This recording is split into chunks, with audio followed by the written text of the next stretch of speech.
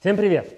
После предыдущего видео прошло чуть больше времени, чем я предполагал, но, в общем, были свои обстоятельства, не связанные с машиной, с машиной все хорошо. Я могу, конечно, жаловаться на эту машину сколько угодно, потому что, блин, я знаю, что нельзя путать туризм с иммиграцией. Ну, в смысле, что когда ты приезжаешь в какой-то город, и тебе нравится, да, о, о, о, все так красиво, вот, а когда ты начинаешь там жить, начинаешь там увидеть недостатки его, чувствовать на себе. Конечно, м-м, да, когда был туристом, здесь было лучше. Так вот, э, да, собственно, одно дело, когда кому-то там дали покататься немного на машине, и вот он там рассказывает о том, какая она замечательная. Совсем другое, это когда ты эту машину водишь каждый день. В любом случае, вот я вернулся и снимаю для вас новое видео, как и обещал. Прежде чем я расскажу о модификациях в конструкторе, которые мы делали при сборке, э, хочу упомянуть о парочке вещей, которые происходили с машиной за последние несколько недель. Во-первых, мы сделали развал схождения. Ну, не мы, естественно, мы отправили машину на сервис, где по спецификации производителя конструктора э, сделали вот этот вот развал схождения. Теперь все гораздо меньше разваливается и гораздо больше сходится, как показано на картинке. Также, ура, машина проехала 500 миль, то есть 800 километров, а это означает, что обкатка двигателя пройдена. А, соответственно, я э, заменил маслом, а, поменял фильтр, проверил уровень всех жидкостей в машине, проверил наличие всех болтов и гаек, что они все закручены, чтобы ничего не болталось и не выпадало в процессе езды, как у нас было уже однажды. Обнаружилось, что в ручнике тросик не всегда отпускает суппорт заднего колеса на водительской стороне. Там, похоже, типа слабовата пружина, что, как оказалось, э, является известной проблемой, потому что тормоза здесь э, в задней оси используются от Форда там какого-то 92 года. А, в общем, это приводило к тому, что, короче, суппорт не до конца отпускал колодки, колодки терлись о диск на ходу, а это, как вы понимаете, не очень хорошо. Пришлось внести небольшую колхозную модификацию, добавив пружинки а, вот там, где тросик устанавливается на суппорт. Колхоз, да, но в принципе тут э, весь конструктор примерно такой. И как бы не наша вина, как мы собираем, а тут все ручная работа, оно так с завода приходит.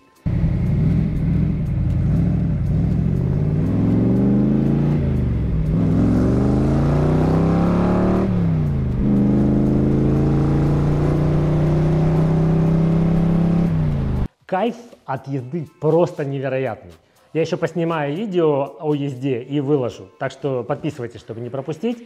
Но вообще, честно признаюсь, я очень скучаю по процессу сборки и вот всем тем восторгам, которые с ним связаны.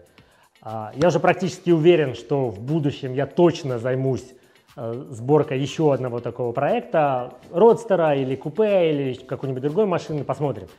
Но вот непонятно просто, насколько в долгосрочном будущем произойдет, но произойдет. Посмотрим. А, регулярное напоминание о том, что швы на кузове уйдут с покраской, потому что об этом меня спрашивают очень многие. А, покраска запланирована на май-апрель следующего года. Там, в общем, очередь, короче. А, цветом я уже на 99% определился, но пока рассказывать об этом не буду. В общем, увидим как сюрприз. А, а теперь поговорим, в общем, о тех модификациях, которые э, были сделаны в проекте э, в процессе сборки, так сказать, этого конструктора. Полный набор конструктора тоже очень хороший вариант, из которого получится отличная машина без всяких дополнений.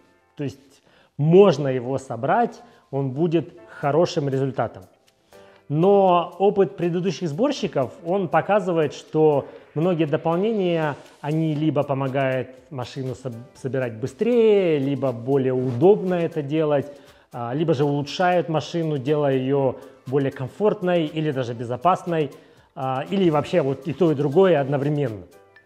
Поэтому, в общем, как показал наш опыт, это большинство из тех вещей, которые я расскажу, это очень полезные штуки, э, и не могу сказать, что я о чем-либо из вот того списка, о котором я буду рассказывать дальше, жалею.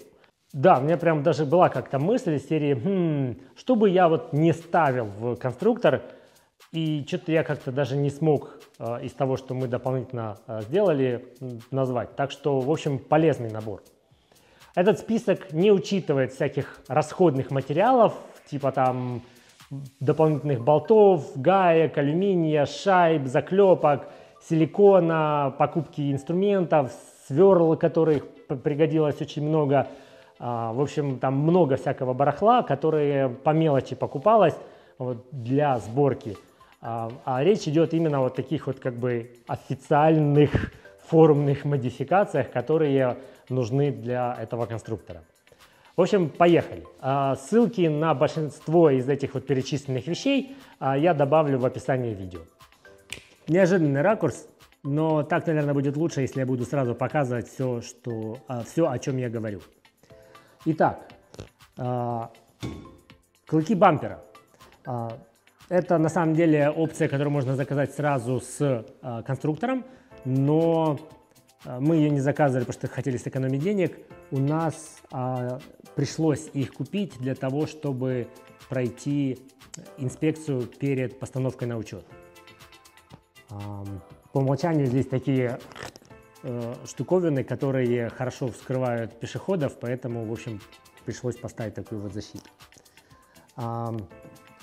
LED-фары, как мне сказали, что правильно говорить LED, то есть LED, в данном случае LED-фары, вот, светят гораздо лучше, чем э, родные фары с обычными лампочками, реально помогает. Есть проблемы с настройкой правильного пучка, но, в общем, на ближнем свете особо не слепит и хорошо. Также пришлось заменить э, лампочки здесь, я тоже поставил LED, они э, получаются более яркими, э, ну и более э, длительный срок службы. А, Еще вот в это отверстие у нас есть специальные сеточки для того, чтобы, в общем, защитить там, объекты внутри от прилетания какого-нибудь ужаса. Эти сеточки мы еще сюда не ставили, они появятся после того, как, э, в общем, машина будет уже покрашена. Здесь есть вот радиатор.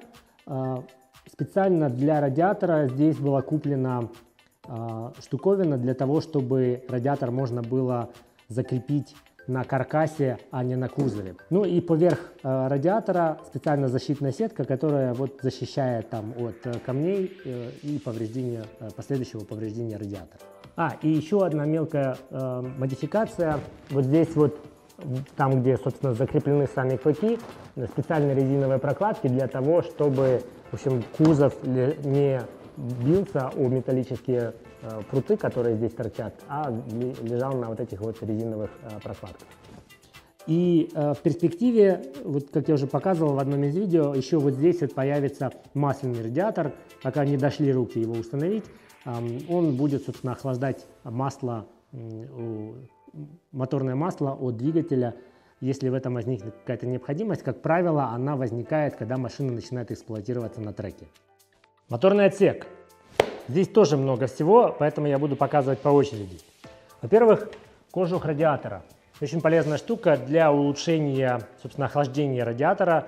Э, и как меня натыкали несколько зрителей в одном из предыдущих видео, э, я неправильно понимал динамику воздуха, так сказать, в, в радиаторе.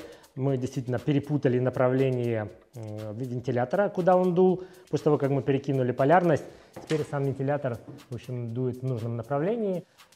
И это позволяет хорошо охлаждать антифриз для того, чтобы, в общем, двигатель не перегревался.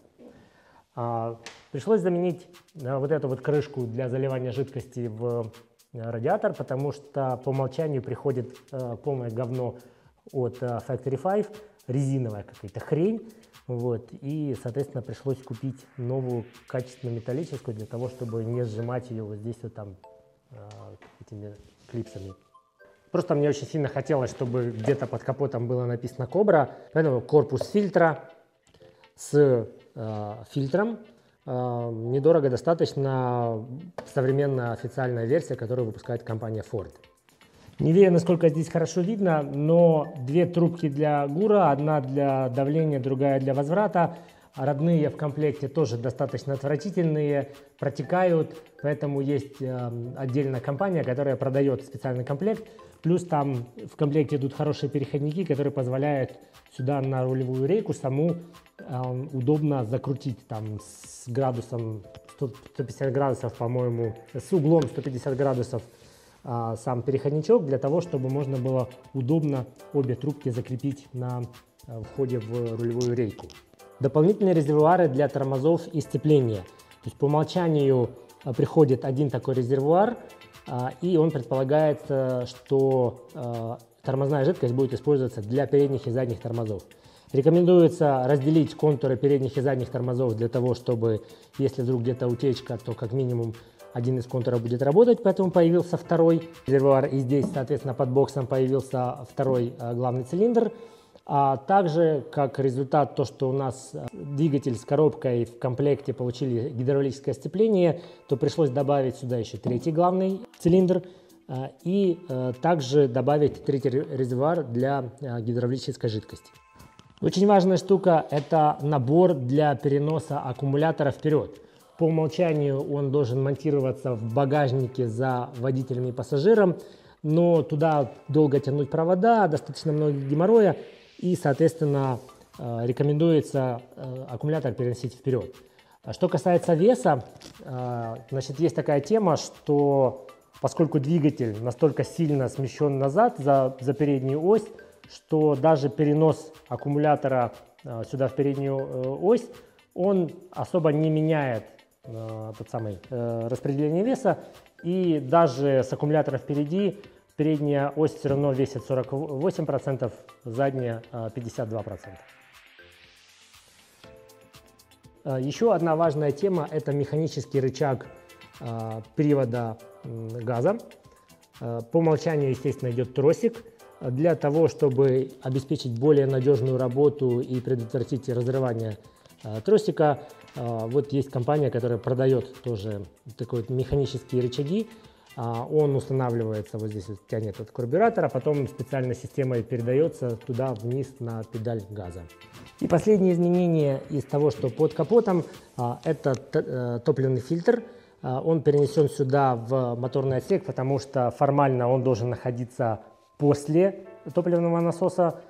И э, там уже, в общем, не было места, где наш насос размещен, поставить еще фильтр, поэтому мы его перенесли сюда. Так, в салоне тоже очень много всего, поэтому я буду рассказывать по порядку. Понятное дело, то, что бросается в глаза, это форточки а, и козырьки. Они очень хорошо помогают в плане аэродинамически направлять ветер от салона, соответственно, в салоне гораздо-гораздо более комфортно становится. А, как вот видно прямо вот здесь в кадре, подголовники сидений – это отдельный проект, о котором я рассказывал. Э, подголовники от Audi A4 э, для того, чтобы, в общем, не ломалась шея, когда, не дай бог, э, что-то произойдет. Подстаканники. Вот. То, что, в общем, добавляет очень сильно комфорта в машине. Даже если не возить там стаканы, то как минимум положить какое-то барахло, это очень полезно. Переключатель поворотных сигналов, который, соответственно, переключает их таким образом, что они могут работать только временно – а, это требование инспекции в нашем штате и при этом, в общем, позволяет не включить и забыть о самом поворотнике. Коврики с логотипом Кобра, о которых я уже как-то рассказывал э, и страшно гордился тем, как я делал в, нем, а, в них отверстия, для того, чтобы закрепить их, чтобы они не ездили в салоне туда-сюда. И вот такие вот панели с карманами для дверей, для того, чтобы можно было тоже дополнительно хранить какое-то барахло. А по умолчанию ничего такого нету, голые двери, поэтому, в общем, очень полезная и удобная штука. Вот здесь внизу много всего того, что не видно. Того, что бросается в глаза, это прерыватель цепи. Для того, чтобы, если вдруг что-то пойдет не так, можно было резко выключить полностью электрическое питание в машине. И здесь снизу есть USB-розетка, обычная розетка, есть переключатель ближнего дальнего света, есть дублирующие кнопки поворотных сигналов, и есть еще кнопки управления подогревом сидений. В общем, да, тут еще вот подголовники сидений, о которых я уже говорил, подогрев сидений, э, две панели, одна здесь, одна в подушке, а, и салазки для того, чтобы сами сиденья могли туда-сюда ездить. Огнетушитель. Этот огнетушитель маленький, и он для того, чтобы, если что-то пойдет не так, быстро выскочить, в общем, из салона, особо не повредившись. Здесь вот специальные шайбы для отверстий, в которых выходит, выходят ремни. Это позволяет, в общем, там, не только, чтобы все выглядело аккуратно, но и не дает ковру а, обивки расползаться на волокна, когда ремни туда-сюда ездят. Шайбы для дуг безопасности. Э, в общем, тоже как бы такая больше аксессуарная часть. Выглядит гораздо симпатичнее, чем ничего, потому что, да, в комплекте ничего. То есть трубы просто уходят в кузов и все. А так, в дополнение там есть еще резинка, которая позволяет изолировать эти отверстия от э, дополнительного протекания. И еще забыл показать, здесь вот сюда в руль по умолчанию есть свои лейбочки Factory 5, но я заказал, еще не приехали просто лейбы с коброй для того, чтобы выглядело чуть-чуть более аутентично. Так, сзади. Общем, вот эти фары, они сразу идут по умолчанию LED, поэтому здесь ничего не надо было менять. А, колпаки, фу, клыки бампера, они, в общем, пришли как комплект из четырех штук, поэтому сзади тоже пришлось поставить. А, и здесь в подсветке номера я тоже заменил лампочки на LED для того, чтобы, в общем, лучше номер подсвечивался. В самом багажнике там мы поставили дополнительно газовые упоры для того, чтобы крышка багажника не падала. А здесь сделали большое углубление, для этого пришлось купить просто дополнительно алюминий и дополнительно ковер, чтобы, в общем, получился этот поддон, в который можно складывать всякое барахло. В частности, например, здесь лежит такая сумка с кучей всяких необходимых инструментов на случай, если на дороге что-нибудь там нужно подкрутить или затянуть. А, и здесь еще тоже большой огнетушитель на случай, если что-то очень сильно пойдет не так. Из того, что не видно, но оно точно есть, а, вот здесь вот есть еще специально мы сделали фильтр для вентиляции паров из бака, топливных паров. А, я потом покажу отдельно на видео, как он там находится. И еще на одном из видео я показывал, как мы устанавливали вот где-то в этом районе, в самом низу, там специальная петля безопасности для кардана, на случай, если вдруг с ним его разорвет, чтобы он не прилетел а, пассажиру или водителю а, в спину или в бедра. В общем, как видите, куча всяких аксессуаров в разной степени а, нужности и полезности. Как я уже сказал, я практически ни о чем не жалею из того, что мы добавили. Все в той или иной мере было полезно или делает машину безопаснее или удобнее. Так что, а, в принципе, если походить по ссылкам из описания, можно увидеть, а, что из этих аксессуаров и сколько стоит. А я еще отдельно планирую сделать а, видео о стоимости всего проекта. Буквы на колесах, в общем, можно не обращать внимания. В целом добавляет очень винтажности, особенно хорошо смотрится с 15-дюймовыми дисками. Так что такая вот э, просто приятная мелочь. В общем, спасибо, что смотрите. Подписывайтесь. До новых видео. Пока.